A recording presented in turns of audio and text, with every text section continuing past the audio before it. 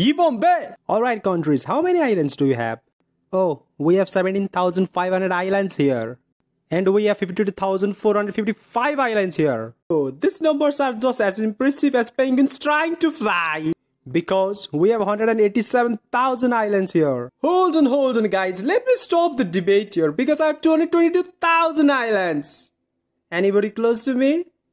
And I thought you were all about meatballs and ABBA Sweden. Ye Bombay!